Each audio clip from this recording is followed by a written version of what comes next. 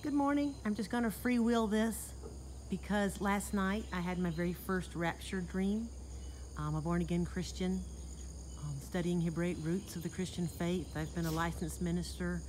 I love Jesus Christ and I live my life every day doing my very best to please Him and make the Lord smile.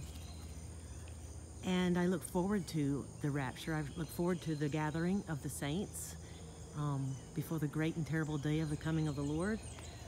But uh, last night I dreamed for the first time about the rapture, and I don't think the details of it are as important, but I'll tell you the feeling I had in the dream. I was having a party at my house, and lots of family and friends were over, and I was looking out the window and I got a phone call. I don't know who I was talking to. I was talking to someone on the phone, and I saw my guests beginning to go up into the air in a more of a um, shinier physical, not Anyway, they almost cartoonish going up into the air.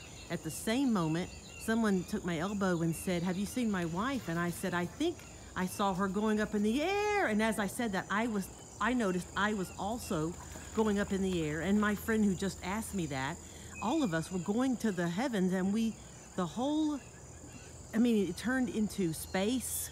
That was interesting. And um and then we were going up, and I began to praise God and say, Thank you, Father. And I was just speaking directly to the Father as we rose up, up, up, up, up.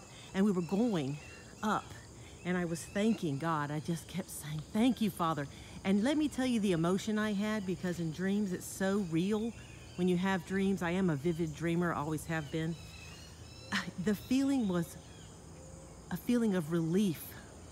So even now, as I think back on it, the most emotion I can remember feeling was relief that the time had finally come. So be encouraged.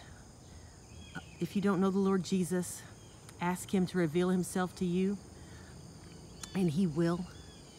Um, it is His desire to see as many people saved as possible and to spend eternity with Him, um, really is His desire. So repent and be saved.